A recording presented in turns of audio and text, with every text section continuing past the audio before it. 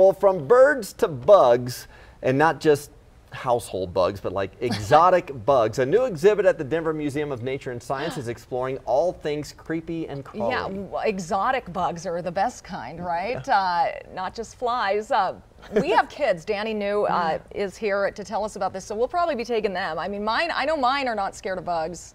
Mine My- love mi- it. No, Mine was mine whipping a snake around in the backyard this weekend. It's it's springtime, yeah. Gross. Can't stand them all, but I get it. Kids like them. It's a great avenue to get them into science, to learn more about it. That interest you should foster. It's important. For me, disgusting. anyway, let's take a trip to this, uh, the Denver Museum of Nature and Science, this exhibit that is called Bugs. Mmm, an entire room of them. And they make sure to zoom in Oh. as much as possible so you can see every fiber of a bug's face. Isn't that great? So Yeah. impressive. It's mesmerizing. Your kids are going to be so fascinated by it. But for me, it's like seeing your favorite 1940s movie star in HD for the first time. But instead of Bing Crosby, Uh. it's a Black Widow and it's a hornet.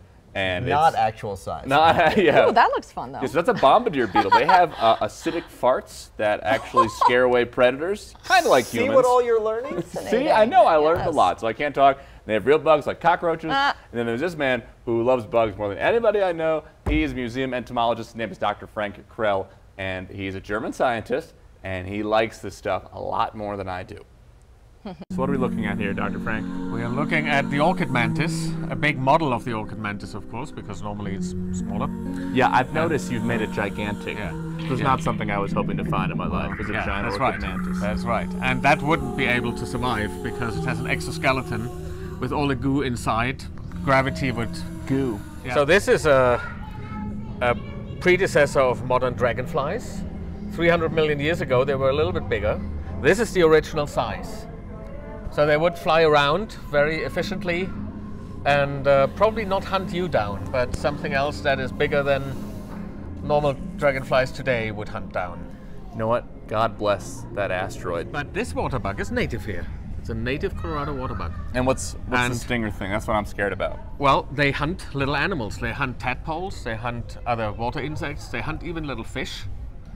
And then they stuck this thing in the prey and insert some saliva in, and then uh, the prey dissolves a little bit and uh, Dissolves. sucks. Yeah, yeah. That's, The uh, organism yeah, dissolves, Yeah, like Splenda. yeah.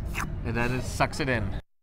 Dr. Frank, why? I could watch him creep you out all day. Yeah. Thank he you. is I could not. so good at But I love I love him so much. And he discovered this bug, a beetle, at the museum, and then he realized it was being mislabeled, so he named it after Sir David Attenborough, his favorite nature documentary Wow, narrator. we got the name Oh. He got it published. It's officially named after him, and then they exchanged letters about it, and they talked about it.